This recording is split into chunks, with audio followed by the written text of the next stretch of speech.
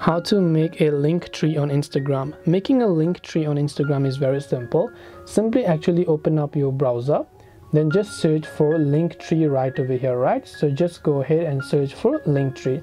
once you've done that just open up linktree and just type in your username or everything in one simple link right and just select your claim your Linktree option. So here you can simply make sure to enter your let's say instagram username and tap on claim your Linktree. And it is on this page where you'll be able to sign up using your account or whatever else it is. So i'll just simply sign up using my account right here. And after i have done that what i need to do from here is simply add all of the links that I want. So here I can simply choose a username that I want to. Then I can just tap on continue. You will find it if it is available or not.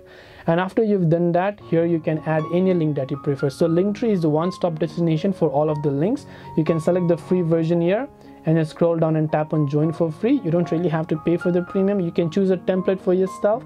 So once you start with the template you can select that. You can select the type of content that you have. And once you've done that tap on continue.